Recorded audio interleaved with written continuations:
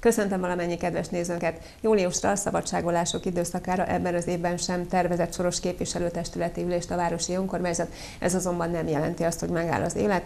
A polgármester természetesen rendkívüli üléseket hívhat össze, ahogy ezt meg is tette ebben a hónapban több alkalommal. Legutóbb éppen július utolsó napjaiban. Hogy mi történt az utolsó, legutóbbi önkormányzati ülésen, arról lesz szó mai műsorunkban. Köszöntöm stúdiónk vendégét, Pap Gábor polgármestert. Köszöntöm is a nézőket. No hát a parkoló iroda elhelyezéséről már több alkalommal beszélgettünk. Először úgy tűnt, hogy született megoldás a Flávius üzletközpontba költözhet el abból a bérleményből, amiben lejár a szerződése a parkolóirodának. De hát úgy tűnik, hogy nem annyira egyszerű ez a történet. Hol tart most az önkormányzat ennek az elintézésében, a helykeresésben? Hát a legutolsó javaslat, amikor ez napirendi pontra került, úgy szintén még júliusi hónapban, illetve június, június utolsó napjaiban testületülésen, akkor körvonalazódott egy helyzet. Vannak alapfeltételek a parkolóiroda elhelyezésénél. Minden, mindenképpen egy olyan helyet kell keresnünk, ahol megközelíthető, tudnak ingyenesen parkolni azok az emberek, akik ügyeket intéznek ott. Nem kell nagyszámú parkolóra gondolni, de egy-két-három megálló helyre biztosan kell gondolni. Azon kívül egy olyan helyre kell rakni az, a, a parkolóirodát, hogy az itt dolgozó hat kolléga, akik közül kettő általában az irodában tartózkodik, és négyen pedig kint vannak az utcán. E, ő nekik vannak pihenőidejeik, be kell menniük az irodába rendszeresen munkavégzés idejük alatt, leadni papírokat, jelentéseket, pénzről beszélünk, tehát hadd ne sorolom, tehát egy olyan hely kell, ami gyorsan, gyalogosan a parkoló őrök számára elérhető. Ez is egy nagyon fontos feladat, mert nem úgy működik a parkoló irodákban a dolgozók, hogy reggel hétkor mondjuk elkezdődik a munkaidő, és majd 17 órakor meg találkozunk, ez így nem működik. Tehát azért van tél-nyár, nem sorolom ezt a dolgot. Körülnéztünk, látjuk az árakat, szinte már egy ingatlan kereskedő szintjére, nem szintjére. Szakmai ismeretekkel. Szakmai ismeretekkel rendelkezünk, igen, ez a pontos megfogalmazás hogy mi mennyibe kerül ma a hévízem. Vannak különbségek, gyakorlatilag az egyértelmű, hogy a Kostolás utcától lefele eső részen tudunk egy parkolóidát megnyitni, technikailag ott van értelme. Így jött be természetesen a Flábiusnál a kérdés. A múltkori testületülésen azt kérték tőlem, hogy próbáljak meg még alkudozni. Megtettük, az alkudozás sikerrel járt gyakorlatilag 30%-kal tudtuk csökkenteni a bérleti díjat ennél a, a leendőbeli helységnél, ami maximálisan alkalmas rá. Természetesen a beruházás közel 6 millió forint lett volna, hogy az irodát kialakítsuk, mert egy szerkezetkész üzletet tudunk kivenni sávos konstrukcióban tudtunk megalkudni a, a, a bérleti díjra. Ahogy mondtam, az első sávban 30%-ot tudtunk alkudni, aztán 15-öt is a utolsó sáv az, amit eredendően a bérlő kért volna. Ezek a sávok ezek azt jelentik, hogy több évre sikerült volna megállapodni, és akkor úgy változik. Természetesen osztó távra gyakorlatilag a 2017-ben lépett volna be a második sáv, tehát addig az első sáv 100 forint per hó bérleti díj, aztán utána egy következő sáv, és 2018-tól indult volna el az a, az a bérleti díj nagysága, amiről indultunk, tehát ezt sikerült lealkudni, ebbe beleegyezett a, a, a bérbadó, illetve a bérbadó még egy olyan kedvezményt is adna, hogy ideiglenesen, amíg kiépítjük a parkolóirodát, ugyanebben az üzletházban csak az emeleti részen egy ideiglenes felekkora irodát tud a rendelkezésünkre bocsátani, egy minimális bérleti díj, gyakorlatilag a rezsit kellett volna kifizetnünk, hogy abba a két hónapba átvészeljük. Ez volt Mert a... hogy szeptember 1-től ki kell költözni. És Muszáj, mert eladták gyors, azt igen. az üzletet, ahol itt is bérletben voltunk. Itt is fizettünk 70 ezer forint bérleti díjat havonta ezért az üzlethelységért, ami nem volt megfelelő ennek az irodának. Ez az üzlethelység majdnem kétszer akkora, megfelelő körülmények biztosítását tudtuk volna ilyen módon megoldani. És azért beszélek vagylagosan, mert a képviselőtestet megosztott volt ebben a kérdésben, és nem fogadták el, illetve azt fogadták el, hogy még próbáljunk megkeresni más üzlethelységeket is. Én mondtam, hogy ezt én már ilyen módon nem vállalom, hanem a képviselőtestetet ismét megkértem, hogy tegyenek javaslatokat, mert én azt gondolom, hogy mindent körbejártunk, az egész várost lekérdeztük, és mondtam, hogy ingatlan kereskedőké váltunk az elmúlt időszakban ebben az ügyben. Remélem, hogy a, a jelenlegi konstrukciót és jelenlegi üzletről nem fogunk lecsúszni, mert az egy komoly probléma lenne, ha ez is adott esetben az elkövetkező egy-két hónapban nem állja meg a helyét és lecsúszunk róla. Természetesen mindenképpen jobb lenne, ha tudnánk vásárolni egy üzletet, de jelen pillanatban az üzlet eladójának az igénye, az nem ö, nincsen paritásba az önkormányzat által értékbecslésben megállapított összeggel. Akkor a különbség közötte, hogy ezt, ezt jelen pillanatban megvásárolni nem tudnánk. Nem azért, mert nem tudnánk rá pénzt elkülöníteni, de a kettő között az ingatlan értékbeslés és az igény között elég nagy a különbség. Így a vásárlás jelen állapotában nem valósulhat, meg az, hogy jövőre mi lenne, az egy másik kérdés, de azt gondolom, hogy persze egy ingatlant megvásárolni akkor azért érdemesebb, ha az ember birtokon belül van mondjuk bérlőként. Jelen pillanatban még időt kért a képviselő testület, hogy akkor keresgéljünk még tovább, megtesszük. Ahogy mondtam, ideiglenesen be fog költözni a valamikori polgárőr iroda helyére, ami a Kossuth Lajos utcában a hivatal mellett van a mélygarás mellett, hogy ilyen módon fejezzem ki magam. Ott el kell költenünk azért egy pár százezer forintot, mert festeni kell, vizesedések vannak és egyebek. Alapvetően... De ez nagyon kicsi. Nagyon kicsi, alkalmatlan, szerintem méltatlan helyen van, és a távolság is itt megint játszik, tehát hogy parkolóval hozzá, ugye, tehát azzal nincs gond, de mozgáskorlátozott számára nem megközelíthető, mert lépcsővezetőre. Ideiglenesen azt gondolom, hogy ki fogjuk tudni itt, itt húzni, el kell erre is költeni pénzt. Nem értem egyes döntéseknek az indokát. Én támogattam volna ennek a, jelenlegi üzletházba való beköltözést, mert azt gondolom, hogy meg kell a problémát.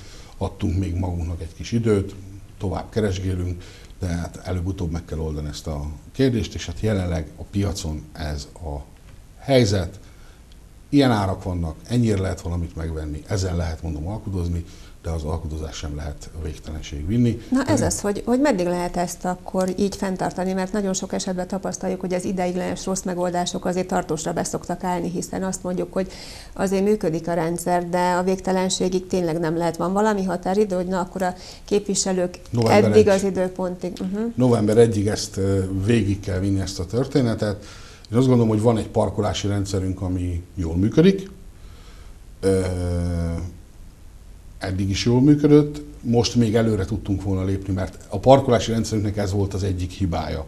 Nem volt rendes ügyfélfogadó helység, nem volt rendes hely a dolgozóknak, és adni sorolom, ez most meg, megoldódna egy kényszerhelyzet miatt, meg kell oldani, belekerül az önkormányzatnak természetesen egy kis pénzébe.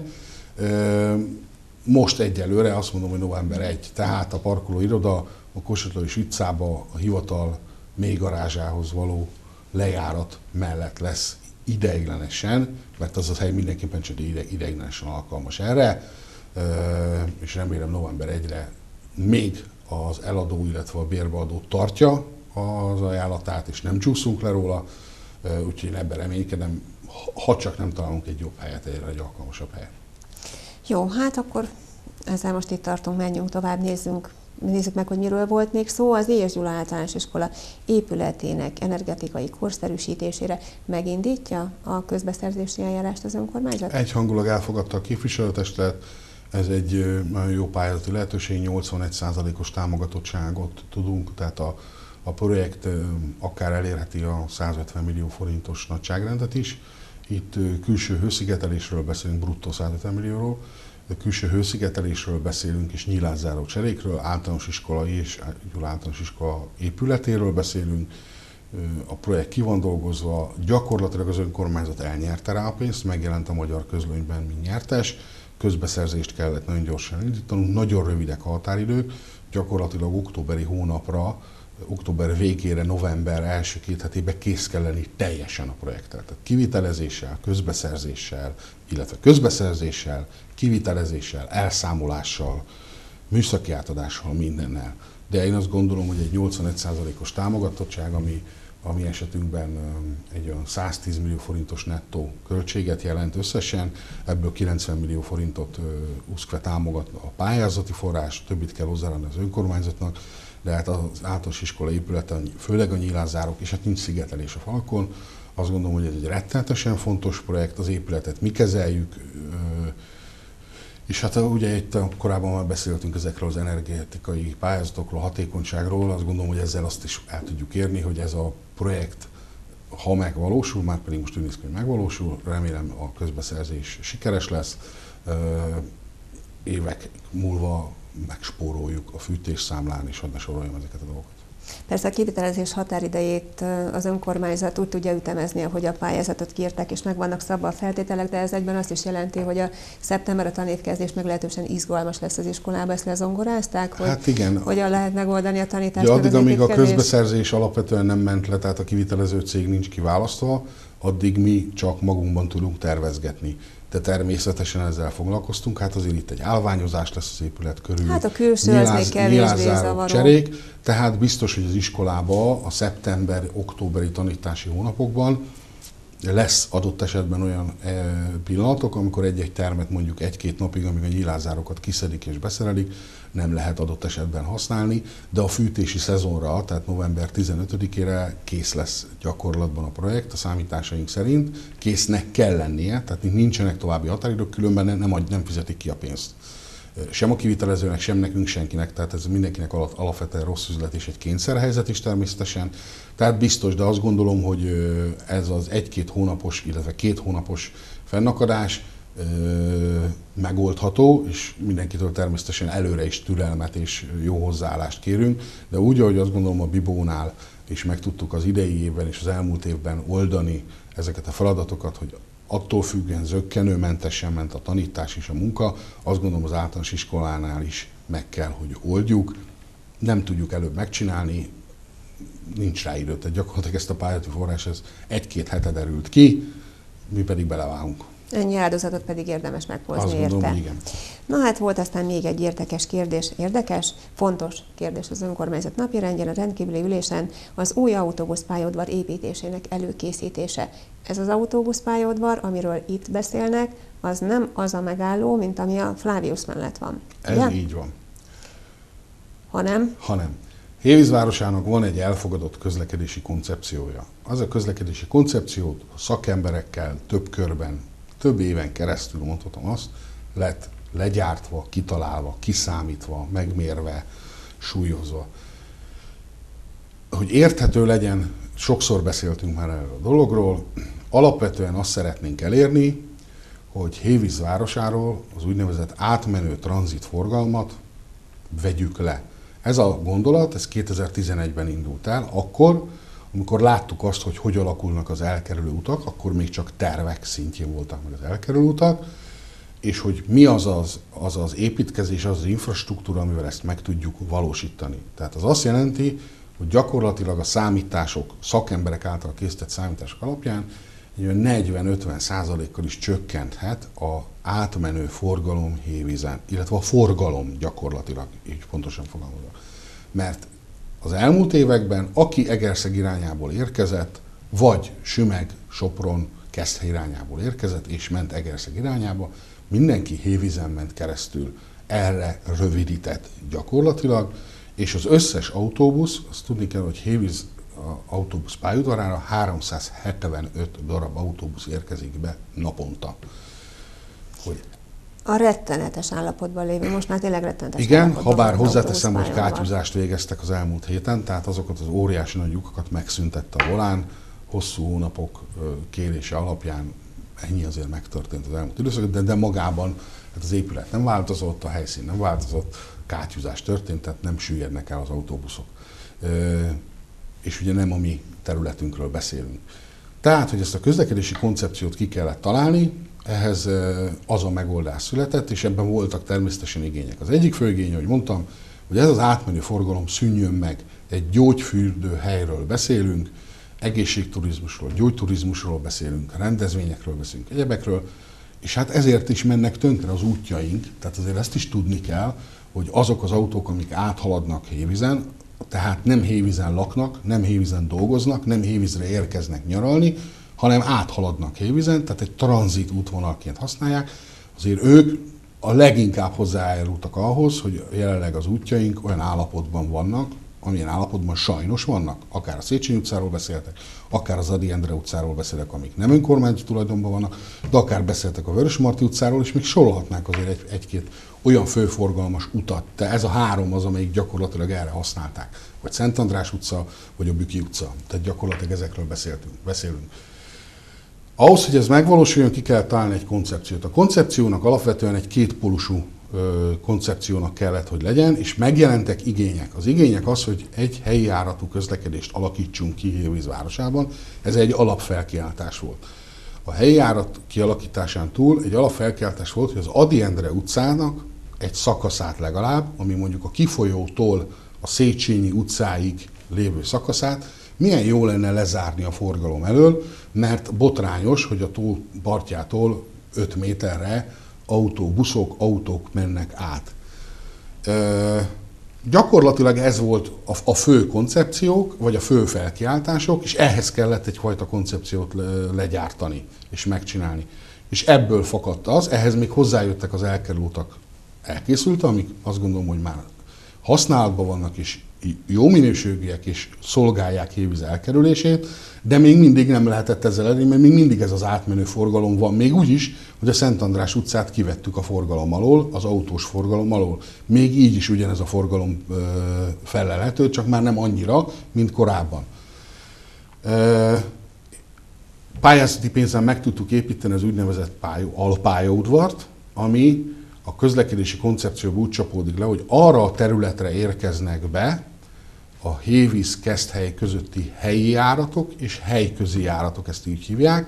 Tehát gyakorlatilag, akik Balaton-Györök távolságából jönnek Hévízre buszok, ezek inkább helyi járatok a hétköznapi nyelv alapján, ezek érkeznének ebbe a pólusba, mert ez az autóbuszpályaudvar nem lehetett nagyobb, nem lehetett nagyobbra és nagyobb befogadó képességűre megépíteni az adottságoknál fogva, nem adták ki az engedélyeket, erre tudtunk, ezt, erre tudtunk pályázati forrást szerezni, meg is épült, Isten igazából kész is vagyunk vele, és ugye ebben a projektben épültek ki azok az buszöblök, amik kiépültek Hévízváros területén, sőt, Hévízvároson kívül is épültek ki buszöblök. És most egy olyan pályaudvarról beszélünk, ami gyakorlatilag a távolsági járatokat fogadná, mert ez az autóbuszpályaudvar alkalmatlan a távolsági járatok fogadására, és nem azért alkalmatlan, mert így csináltuk meg, hanem így lehetett csak megcsinálni. Csak így lehetett megcsinálni. És ezért alakulna ki a külső nagy autóbuszpályaudvar, amit a alsó pályokra vezető Adi Endre utcának, akkor hívjuk, hívjuk így, illetve hát beszéljünk így, Adi Endre utcáról a Spár áruházlánccal szembeni területen, ami Hévíz területe, azt tudjuk, hogy a Spár az nem Hévíz területe. Azra a területre raknánk be, ami ki van jelölve évek óta a helyi építési szabályzatba és fejlesztési tervekbe autóbuszpályaudvar helyszíneként. Van az önkormányzatnak egy kisebb területe. A mai testületülésen arról döntöttünk, hogy elindíthatjuk ezen területeknek a megvásárlását. Ha nem tudunk vásárolni, akkor kisajátítani fogunk. Én azt gondolom, hogy a vásárlás, az eladás mindenkinek sokkal jobb, mert a kisajátításnál egy ingatlanbeslő kijön, mond egy árat, egy minimál árat, és köteles azon eladni a tulajdonos, a kisajátító önkormányzatnak. Ez a törvény. Én azt gondolom, hogy meg fogunk tudni egyezni, megvan ezeknek a területeknek az értéke, ugye ezt aranykorona értékben lehet számolni, mert ezek szántó területek, illetve földműveléssel, földművelésre alkalmas területekről beszélünk, nem olyan nagy összegekről beszélünk, hektáronként egy-másfél millió forintról beszélünk hektáronként. Tehát itt szeretnénk megvásárolni az ingatlanokat, körülbelül 4-5 hektárnyi területet, hogy itt megvalósuljon az autó, a központi nagy autóbuszpályaudvar, mellette parkolók alakulnának ki, 100 kötőjel 300 autóparkoló, ingyenes autóparkoló, amivel továbbra tudjuk fokozni a parkoló helyeket Hévizen ingyenesen, de a város szélén természetesen. És ez a két autóbuszpályaudvar, tehát a meglévő alpályaudvar, és ez a központi buszpályaudvar, lesz összekötve a helyi járattal. A helyi járat pedig azokon a buszöblökön fog megállni, amiket kiépítettünk a városban, ez 18 buszöböl emlékeim szerint.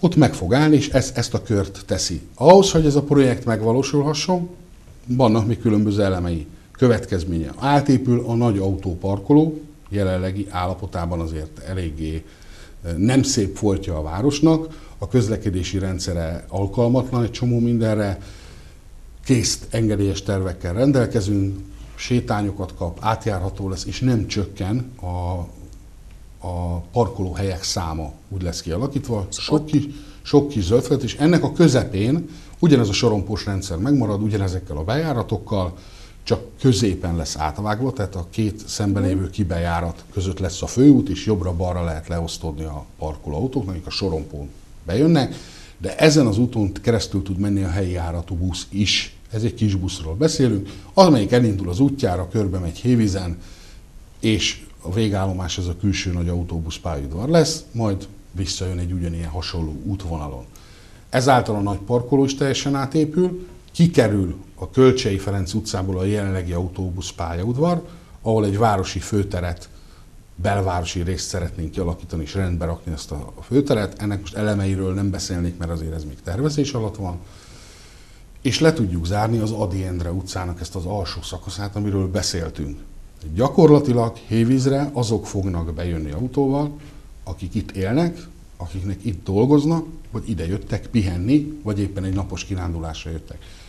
Óriási nagy százalékban lecsökken a városról a forgalom, az autóforgalom, nem fognak keresztül menni a városon, nem teszik tönkre az útjainkat, nem szennyezik a levegőt, és én azt gondolom, hogy ha egy európai világhírű fürdővárosról beszélünk, akkor ez egy minimális követelmény, hogy valójában azok legyünk, és ez ehhez hozzá tartozik például, hogy az Adendre utcán ne száguldozzanak az autók. Ez a fő projektenek az egésznek. Természetesen ez kialakul mondjuk hebi kerékpáros rendszer újabb dokkolóival, mondjuk az új autóbuszpályaudvarnál, és még apró belemek ebbe a dologba be fognak jönni.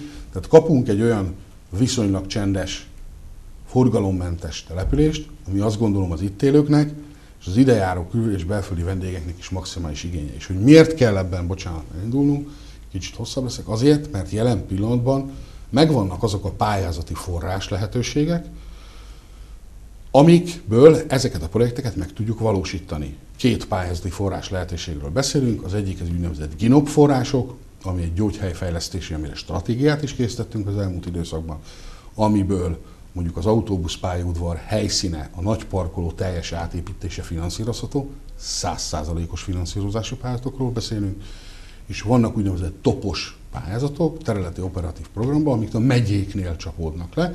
Oda is már hónapokkal ezelőtt le kellett adni a terveinket, amiből pedig szeretnénk az autóbuszpályaudvart, az új autóbuszpályaudvart megépíteni. Itt körülbelül beszélünk nagyságrendileg 2 milliárd forintról.